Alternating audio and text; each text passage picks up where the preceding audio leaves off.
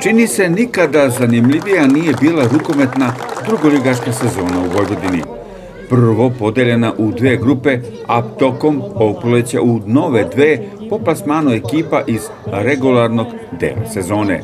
U doigravanju za plasman u prvu ligu Vojvodine su se našla neka poznata rukometna imena, neki poznati bar u Vojvodini rukometni centri. Još pre start takmičenja je bilo jasno da Rukometna akademija Dinamo slovi za kandidata broj 1, a iza su stajali Radnički Šida, Ruma, Dalmatina Sriđica i da ne nabramo baš sve. Tu negde je bilo i skromno upisano ime rukometnog kluba Putinci. Na kraju se sve svelo na posljednja dva ili posljednje kolo. Pančevci su razmontirali Šiđene i to na njihovom terenu u pobedi 30 prema 20. Samo nekoliko desetina minuta kasnije Mečko igra na otvoreno pod reflektorima je izgubio značaj.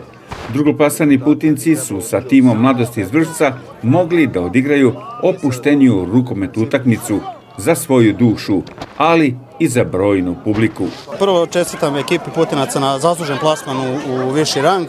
Ljudi su igrali tokom, tokom cele sezone jako odbrano, dobri su bili u, u napadu i nema šta zasluženo su na kraju otišli. Nisu kao prvo plasirani, čestitam takođe ekipi Akademije Dinama.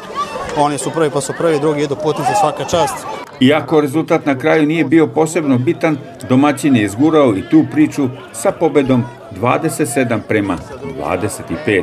Dugo smo čekali ovo, ne znam, moje, oduševljen sam samim plasmanom i rezultatom moje ekipe tokom celo, cele sezone i došla je kao šlag na tortu ova pobeda i plasman u viši rang takmičenja.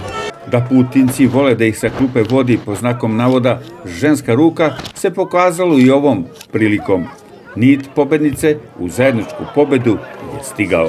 Da nas je neko pitao na početku prvenstva, bio nam je maltene nedostižan san, ali evo upornim radom, borbom, pre svega zalaganjem, i uz neke male igračke probleme mi smo ipak uspeli da uđemo u viši rang i čestitam momcima i da im se zahvalim od kad sam ja došla da stvarno imam poštovanje. Jedna samo poraz od novembra, a eto, drago mi je što sam i ja u deo ovog uspeha. Opširnije o ovom događaju pogledajte u našoj sportskoj emisiji narednog ponedeljka.